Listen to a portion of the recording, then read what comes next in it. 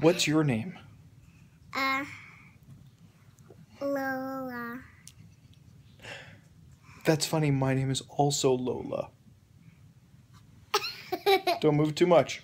Don't move too much or we lose the faces. Okay. Hold your face straight up and down, like mine. No. Put your chin down. There you go. Right there. Don't move.